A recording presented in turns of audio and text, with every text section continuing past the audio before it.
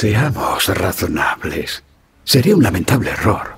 Sería una auténtica locura que tú, un valeroso rey y sus valientes hombres, perecieseis por culpa de un pequeño malentendido. Nuestras culturas podrían compartir tanto. si llevamos compartiendo nuestra cultura con vosotros toda la mañana. Sois una tribu fascinante. Incluso ahora eres desafiante.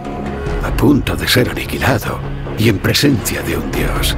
Es una insensatez hacerme frente, Leónidas. Imagina qué horrible destino espera a mis enemigos cuando mataría gustosamente a cualquiera de mis hombres por la victoria. En cambio, yo moriría por cualquiera de ellos. Los griegos os enorgullecéis de vuestra lógica. Te sugiero que la emplees. Puedo reducir a ceniza la tierra que con tanta pasión defendéis. Puedo arrasarla en cuanto me plazca. Piensa en el destino de Está vuestras claro que no conoces a nuestras mujeres. Bien podrían habernos acompañado, sobre todo después de lo visto.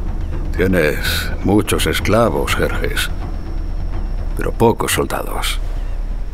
Dentro de poco temerán más mis lanzas que tus latigazos. No son mis latigazos lo que temen, sino mi poder divino. Pero soy un dios generoso. Te colmaré de riquezas inimaginables. Te nombraré caudillo de toda Grecia. Portarás mi estandarte hasta el corazón de Europa. Tus rivales atenienses se postrarán a tus pies. Si antes tú te postras a los míos. Eres muy generoso. Al igual que divino.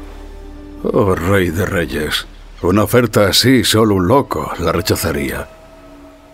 Pero la idea de postrarme, no... Verás, eh, después de aniquilar a tus hombres, tengo un... un pequeño calambre aquí en la pierna.